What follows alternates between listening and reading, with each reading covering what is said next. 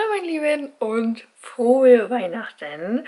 Heute ist Heiligabend und ich dachte, ich nehme euch mal wieder mit, so wie jedes Jahr, ihr kennt das ja von mir, und biete euch hier so einen kleinen Einblick in unseren Heiligen Abend und eventuell auch noch die anderen Weihnachtstage. Ich hoffe, euch gefällt und wünsche euch vorab einfach ganz, ganz viel Spaß. Ja, ich bin gerade aufgestanden vor 10 Minuten. Es ist ungefähr 7 Uhr. Felix ist gerade auf Arbeit gegangen, denn er muss heute bis 13 Uhr noch arbeiten. Und ähm, genau, kommt dann nachher wieder zurück. Feiert danach aber, also nach der Arbeit kurz noch mit seinen Eltern. Das heißt, er kommt so gegen späten Nachmittag. Ja, ähm, und dann sind auch schon die anderen da. Durch Corona müssen wir uns natürlich auch ein bisschen beschränken und deswegen kommt auch nur meine Schwester. Und äh, sonst kommt niemand, sonst haben wir hier immer volles Haus, aber wegen Corona kommt eben nur einer. Und das ist ja auch völlig in Ordnung. Ähm, müssen wir uns dann halten, ist einfach so. Wird trotzdem richtig schön und ich freue mich riesig. Geschenke sind alle verpackt. Ich muss jetzt gleich noch ein Geschenk einpacken. Das kann ich euch gleich nochmal zeigen. Ich bin nämlich so urstolz drauf, dass ich es am liebsten der ganzen Welt zeigen würde. Ähm, ich habe nämlich was genäht für Baby Nils. Das ist ja der Sohn meiner Schwester. Und ähm, ja, ich bin einfach so verliebt. Ich muss es euch gleich zeigen. Die Kleine schläft noch. Ich habe mich... Die Kleine ist wach. Ich hole sie mal kurz. Hase? Hey, hallo! Heute kommt der Weihnachtsmann. Heute kommt der Weihnachtsmann, mein Schatz. Frohe Weihnachten, Baby. Heute kommt der Weihnachtsmann. Daddy. Ja! Willst du mit runterkommen und dein letztes Adventstürchen aufmachen? Ja, dann komm schnell, mein Schatz. Komm zu Mama. Komm. Hast aber heute nicht so lange geschlafen, hä? So, das letzte Türchen ist auch heute dran. Der Adventskalender ist leer. Sieht ganz verrückt aus. Lia, darfst du nehmen. Kriegst du das ab allein? Ja, mach ab. Nimm's dir. ich glaube, Mama muss mal helfen. So, jetzt wird ausgepackt, mein Hase, ne? Das letzte Türchen. Ja, ich schnell auspacken, das letzte Türchen. Ich werde das echt vermissen. Das ist irgendwie so total so ein Ritual geworden mit der Kleinen. Ich bin immer selber... Papas arbeiten, mein Schatz. Ich bin immer selber gespannt, was drin ist. Ich weiß es gar nicht mehr. Und, was ist drin? Oh, was denn? Jetzt los, zieh. Oh, kommst du nicht. Jetzt, kannst du es jetzt? Oh, das wusste Mama ja gar nicht mehr, dass da noch ein Toni drin ist. Oh, ein Toni. Wollen wir ihn auspacken und auf deine Toni-Box machen?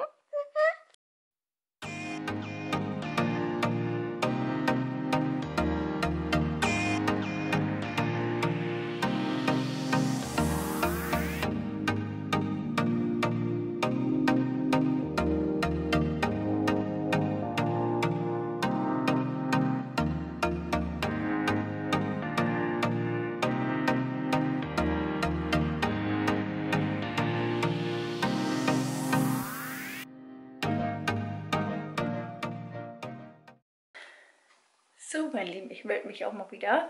Es ist schon, Moment, 12 Uhr und 4 Minuten und ähm, ja, ich habe jetzt den ganzen Vormittag geputzt seit um 8 Uhr und äh, habe noch alles frisch gemacht, alles aufgeräumt. Zum Beispiel hier hinter mir alles ordentlich, alles hübsch gemacht, Wäsche gemacht, habe jetzt gerade auch die letzte Maschine aufgehängt und davor habe ich noch zwei Maschinen wegsortiert und abgehängt und alles. Ja, Lias Zimmer war vorhin auch noch ordentlich, aber sie hat vorhin wieder ein bisschen gespielt, das ist ja auch völlig in Ordnung. Sie hat jetzt ähm, oder macht gerade noch ein Schläfchen. Sie ist nämlich heute sehr früh aufgestanden für ihre Verhältnisse und dann braucht sie immer noch so ein Schläfchen. Das macht sie jetzt seit einer Stunde ungefähr. Und ich lasse sie auch noch, also sie kann ruhig noch schlafen, denn heute wird es lang und ähm, Genau, dementsprechend darf sie da ruhig noch ein bisschen schlafen. Ich habe noch meinen Weihnachtspullover an. Ich habe aber schon die Outfits für mich und Lia rausgesucht. Die wollte ich jetzt einmal zeigen. Das hier ist Lias Outfit. Also ich habe mich hier für dieses Kleidchen entschieden. Ich finde das einfach so goldig. Ist zwar jetzt nicht so weihnachtlich, aber ich finde das einfach so schön. Sie hatte es noch nie an, leider. Und ich fand das jetzt einfach einen perfekten Anlass. Und dazu bekommt sie diese Strumpfhose. Ich finde, die passt ganz gut dazu. Die wollte ich eigentlich schon aussortieren, weil die eigentlich schon zu klein wird. Aber jetzt passt die perfekt hierzu. Beziehungsweise finde ich die auch sehr, sehr weihnachtlich. Und dementsprechend behalten wir sie jetzt noch, bis Weihnachten vorbei ist. Genau, das ist also Lias Outfit. Und ich habe mich auch für ein Kleid entschieden. Und zwar so ein dunkelblaues mit weißen Punkten. Das finde ich sehr schön und finde ich auch sehr weihnachtlich irgendwie. Das hatte ich letztes Jahr auch an. Und ich finde es einfach so hübsch und ähm, ja, einfach passend. Und natürlich auch passend zu Lia. Gehen wir so ein bisschen im Partnerlook. Genau, da werde ich eventuell noch eine Strumpfhose drunter ziehen. Mal gucken, wie kalt es ist. Aber wir sind ja auch die meiste Zeit drinnen. Dementsprechend passt das und ich finde das so schön. Ich freue mich. Das letzte Mal hatte ich das an. Also letztes Jahr, glaube ich. Und davor hatte ich eine riesen, riesengroße Kugel mit Lia da drinne. Und das war, ja, das war echt krass. Aber jetzt äh, freue ich mich, das wieder anzuziehen. Umziehen werden wir uns aber erst nachher. Ähm, so gegen 15 Uhr oder so, schätze ich mal. Gegen 14, 15 Uhr. Und ich werde mich aber jetzt gleich schon mal so ein bisschen schminken, denn das mache ich sehr gerne, wenn die Kleine noch schläft. Und dann habe ich unten noch, noch einiges zu tun. Ich habe ähm, ja, sehr, sehr viel geputzt, auch hier oben. Und ähm, ich habe unten im Flur noch ganz viel stehen, was ich noch wegräumen muss. Das wäre aber zu laut und deswegen warte ich, bis die Kleine wach ist. Dann mache ich das nämlich mit ihr zusammen.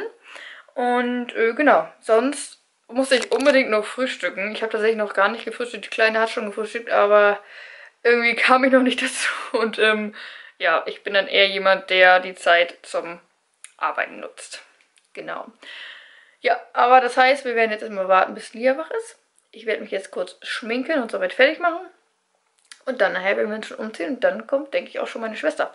Genau, ich wollte noch sagen, wir essen ja heute Raclette. Ähm, das essen wir eigentlich immer Weihnachten, weil ich finde, das ist ein sehr schönes Beisammensein-Essen. Also man kann da einfach richtig schön zusammen sein und quatschen und es dauert ziemlich lange und ich finde das total schön. Das zeige ich euch dann aber nachher noch natürlich, wie wir das vorbereiten und alles. Meine Schwester bringt super viel mit und ich habe auch ein paar Sachen im Kühlschrank.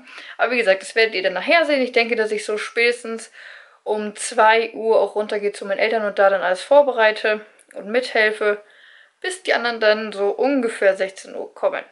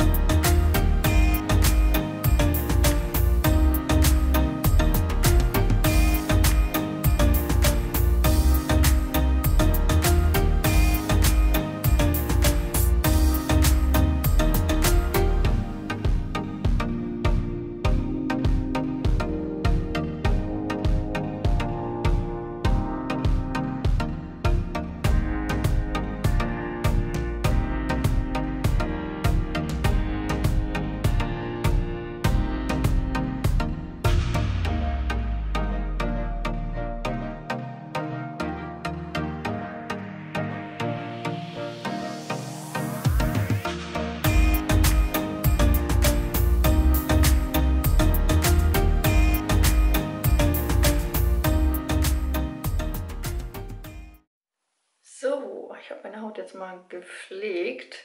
Das ist so mein tägliches Programm, was ich eigentlich immer nach dem Aufstehen mache. Ich habe hier so ein richtig tolles Set von Salted Beauty. Ich liebe das. Genau. Und das nutze ich jeden Morgen und jeden Abend. Das habe ich jetzt heute noch nicht gemacht, aber jetzt fühle ich mich auf jeden Fall besser. Jetzt lasse ich das äh, kurz trocknen, wobei die Creme auch schon trocken ist. Und dann kann ich mich schminken. Da benutze ich übrigens auch gar nicht so viel. Also heute nur so ein bisschen Conditioner, weil ich, äh, Concealer, weil ich hier wieder so ein paar Pickel habe. Ähm, dann einfach ein bisschen Lidschatten, mal gucken, welchen ich nehme. Und einfach meine Mascara von Banana Beauty. Die mag ich auch sehr, sehr gern. Genau. Oh, die Haut ist immer so weich danach und riecht immer so gut. so, ich bin fertig. Wie gesagt, ich bin da ja immer so ein bisschen schlichter, wisst ihr. Genau, und jetzt werde ich aus dem Bad gehen und werde gucken, die Kleine wach ist. Ich höre nämlich noch nichts. Und sonst ähm, werde ich mich mal um mein Frühstück kümmern. So, die Kleine ist wach und ich mache mich jetzt an das Gemüse. Ich habe hier noch Champignons fürs Raclette und Zucchini hole ich jetzt noch ins Kühlschrank. Das wollte ich jetzt einmal kurz klein schneiden und hier so ein bisschen hinlegen, ähm, damit man das dann einfach nachher anbraten kann, beziehungsweise mit ins Raclette reinmachen kann. So, ein bisschen was hat Platz hier in meinen Klimaoasen gefunden von Tupper. Und das werde ich jetzt, wie gesagt, einmal das klein schneiden. Und die Kleine isst übrigens gerade ein bisschen was zum Mittag. Ich äh, werde auch gleich noch einen kleinen Snack essen, aber nicht zu viel, damit wir nachher ordentlich Hunger haben.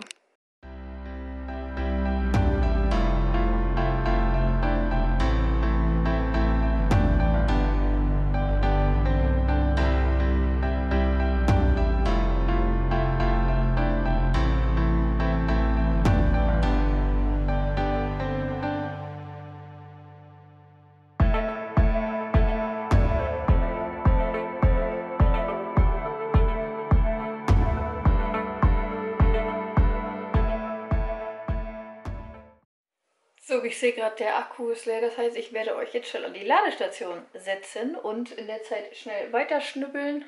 Ich denke, diese kleine Auflaufform wird nicht reichen für diese Menge an Pilzen. Aber, ähm, genau, ich werde euch also schnell kurz aufladen und sehen wir uns nachher wieder.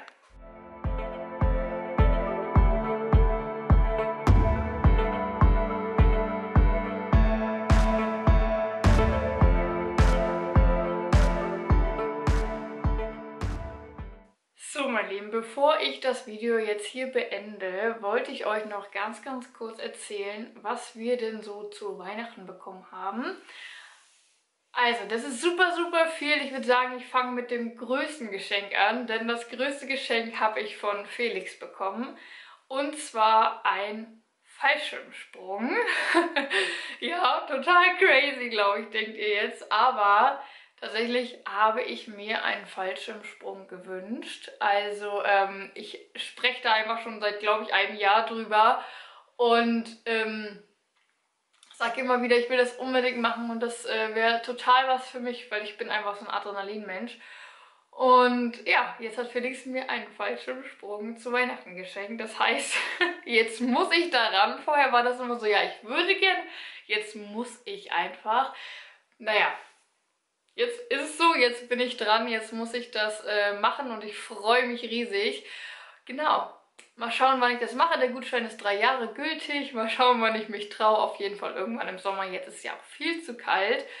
Genau, das ist auf jeden Fall das größte Geschenk, was ich bekommen habe. Dann habe ich Felix geschenkt eine neue Arbeitshose für die Arbeit. Er hatte nämlich nur eine und immer wenn wir die waschen mussten, das muss man immer am Wochenende machen, wenn er nicht arbeitet. Und einmal war sie sogar noch nass und dann musste er mit normalen Klamotten zur Arbeit.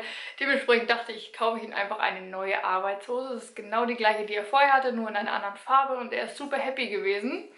Dann habe ich ihm noch eine Fußballtasche geschenkt, denn äh, Felix spielt ja Fußball und er hatte vorher immer nur so einen kleinen Stoffbeutel und ja, irgendwie war das total doof dann mit den nassen Fußballschuhen, wenn es geregnet hat und den nassen Klamotten und Deswegen habe ich ihm jetzt eine Fußballtasche geschenkt, die extra ein Fach für die Schuhe hat und extra ein Fach für nasse Klamotten. Also einfach so eine richtige Fußballtasche, damit er da jetzt auch nächsten Sommer bzw. nach dem Corona-Lockdown endlich wieder spielen kann und dann auch natürlich auch mit einer vernünftigen Tasche. Von den Eltern bzw. von Felix Familie gab es sehr, sehr viele Geldgeschenke. Da habe ich hier zum Beispiel die ganzen Karten eben mit sehr, sehr vielen Geld geschenkt. das ist natürlich super schön und super lieb und das werden wir alles auch auf unser Familienkonto tun, damit wir dann sparen können für den nächsten Urlaub, der hoffentlich dann nach Corona stattfinden kann. Wir hoffen mal, dass wir dann nochmal wegfahren können. Dann habe ich von meiner Schwester hier so eine kleine Tasche bekommen und zwar sind da einmal Bilder dabei. Ich äh, werde sie jetzt nicht zeigen, weil da ist mein kleiner, süßer ähm, Neffe drauf. Und zwar einmal vom ähm, Weihnachtsshooting, was ich mit den beiden gemacht habe. Und es ist einfach so süß, die Fotos sind so süß geworden und dementsprechend ja, hat sie uns die einmal ausgedruckt. Jeder hat davon eins bekommen. Dann habe ich etwas richtig Cooles von Tupper bekommen. Und zwar ist das ein Zwiebelschneider, beziehungsweise kann man alles damit machen, hat sie mir gesagt. Also das ist ein äh, Gerät und da sind eben verschiedene Aufsätze dabei, zum Beispiel hier so ein Aufsatz, damit kannst du zum Beispiel Sahne schlagen da drinnen. Oder eben hier das Messer, dann kann man da zum Beispiel Zwiebeln oder Knoblauch mit kleinen Hacken, aber auch Gemüse jeglicher Art. Total praktisch und äh, mega cool für die Küche. Und das Ganze betreibt man nicht mit Strom oder irgendwas, sondern einfach nur mit der eigenen Körperkraft sozusagen.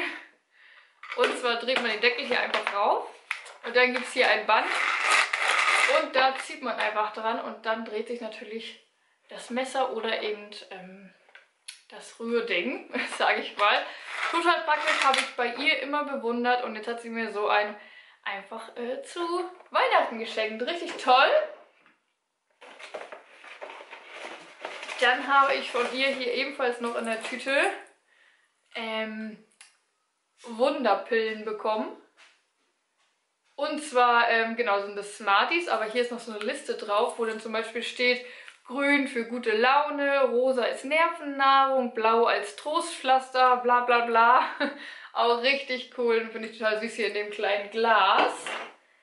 Dann habe ich noch ganz viele Knöpfe bekommen zum Nähen. Und ich liebe ja so kleine Holzknöpfe und die kann man da richtig schön rannähen.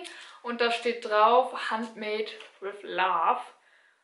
Richtig süß, habe ich mich richtig drüber gefreut, weil ich liebe solche Knöpfe. Das macht einfach immer so viel aus, wenn man das so einen kleinen Knopf dran hat. Und dann habe ich von meiner Mutter, das habe ich jetzt hier auch noch mit reingesteckt, einmal Ferrero Küsschen bekommen zu einer Deko. Ähm, die steht aber bereits im Wohnzimmer, blende ich euch aber ein. Das ist so ein kleiner Kreis mit einer Leuchte drin. Finde ich super schön, passt perfekt bei uns ins Wohnzimmer. Genau. Das war's. Sie hat mir noch eine selbstgemachte Karte gemacht. Auch total süß mit, ähm, genau, selbst gebastelt und auch mit einem Bild drin wieder. Richtig schön. Genau, dann haben wir von, äh, also Felix und ich haben von meinen Eltern noch ähm, Schonbezüge für das Auto bekommen, für hinten, für die Rückbank. Und ich glaube, dann war es das tatsächlich. Also ähm, ja, wir haben nicht so abgeräumt, aber das ist auch völlig in Ordnung, denn bei uns ist Weihnachten immer so, dass wir wichteln und eigentlich kriegt immer nur einer ein Geschenk. Aber ähm, ja, man kauft ja trotzdem für alle irgendwie was. Außer ich, ich habe mich da äh, recht dran gehalten. Also ich habe nicht so viel gekauft, aber Das war's auf jeden Fall. Ich hoffe, euch hat dieses Video gefallen. Es war so ein kleiner zusammengewürfelter Vlog, jetzt noch mit so einem kleinen Geschenkevideo. Aber wie gesagt, ich hoffe, euch hat es gefallen. Ich wollte das Video unbedingt nochmal richtig schön beenden. Ich wünsche euch einen ganz, ganz wundervollen Tag und dann bis zum nächsten Mal. Tschüssi!